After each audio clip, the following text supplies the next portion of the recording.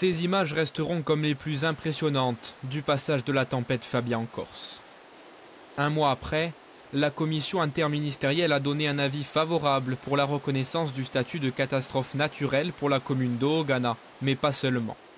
Au total, cet avis concerne 51 communes sur l'ensemble de l'île, 48 communes en Corse du Sud, pour la plupart dans la région ajaxienne, et 3 communes en Haute-Corse.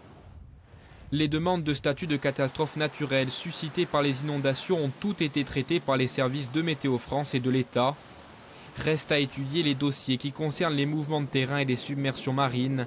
Ils feront l'objet de prochaines commissions. Pour les personnes impactées par les dégâts, elles peuvent désormais contacter leur assurance. À compter de la publication officielle du statut de catastrophe naturelle, elles ont 10 jours pour le faire.